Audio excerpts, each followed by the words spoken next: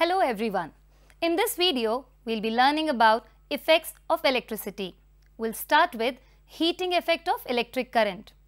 When an electric current is passed through a conductor, the conductor becomes hot after some time and produce heat. This happens due to conversion of some electric energy passing through the conductor into heat energy. This effect of electric current is called heating effect of current. Incandescent electric bulb, electric fuse, heater, electric iron are some of the common examples of heating effect of electric current. Now let's switch to magnetic effect of electric current. The term magnetic effect of electric current means that an electric current flowing in a wire produces a magnetic field around it. Let's perform an experiment to understand it better. In this experiment, we can create magnetism from electricity. For this activity, we'll require a battery, two rubber bands, ring magnets, two in number, copper wire coil, for which I have taken out the insulations at both the ends with the help of a cutter. The detailed description of this is given in the link below. We'll also need two safety pins. Now let's assemble it. I have attached the two safety pins to the two terminals of this battery with the help of these rubber bands. Also, I have attached the ring magnets to the battery. Now, we'll fix this coil to the two loops of the safety pins and let's see what happens. As you can see, the coil keeps on rotating because of generation of magnetic field around the coil. So now I have removed the magnet. Now let's see that whether the magnetic fields are generated or not.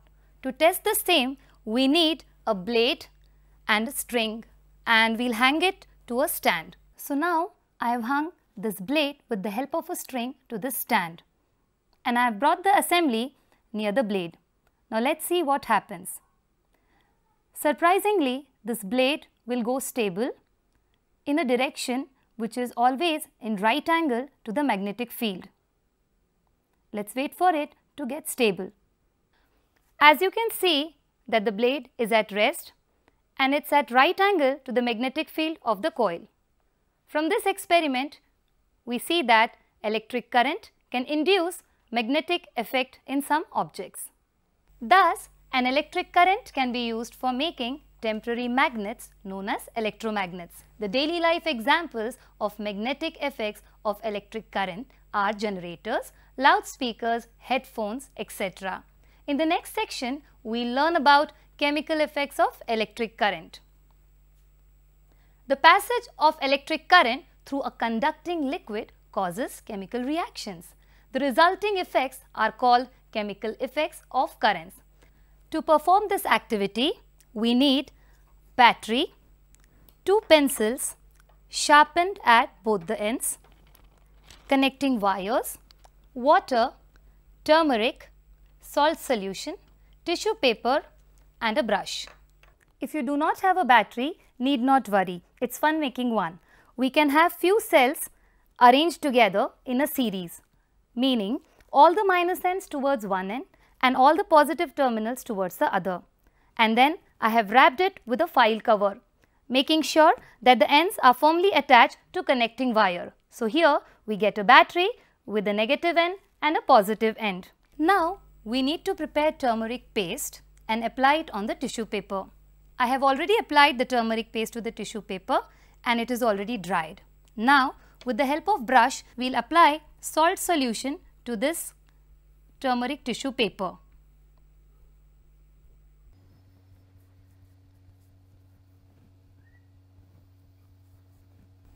Now, I'll take this battery.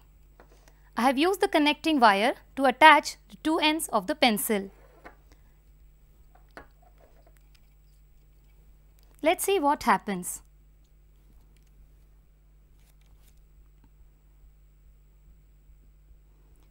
As you can see, the pencil attached to the negative electrode has already started writing in red.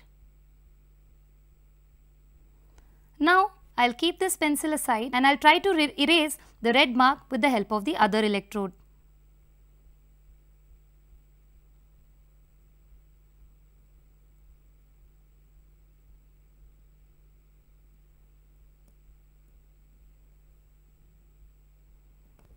You can see that when I try to touch the red line with the other pencil, it is actually acting as an eraser.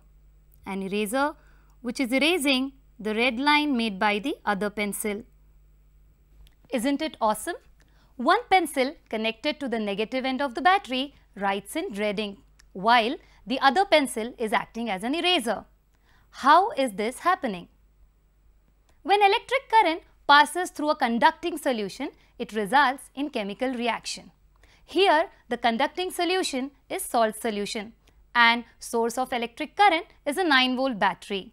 Salt consists of positive sodium ions and negative chloride ions and water consists of positive hydrogen ions and negative hydroxyl ions. When electric current is switched on, then the charged ion starts moving towards oppositely charged electrode. Here, electrodes are the graphite leads of the pencil. At the positive electrode, we have negatively charged chloride and hydroxyl ion which gather and result in formation of chlorine gas. When this gas comes in contact with the surrounding moisture, it forms hydrochloric acid. At the same time, sodium ions and hydrogen ions, they move to the negative electrode, resulting in formation of hydrogen gas. When sodium ions come in contact with moisture, it forms sodium hydroxide, which is a strong base. And turmeric, being a natural indicator, turns red when it comes in contact with base at the negative electrode, which is then neutralized by acid formed at the positive electrode. In this video, we learnt about the physical and chemical effects of electric current.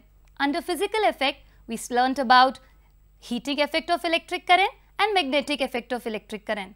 And we also learnt the chemical effects of electric current and we even discussed some daily life examples of the same. Hope you enjoyed this video. For detailed description about how to perform this activity, please click on the link. Did you enjoy this video? Thank you for watching.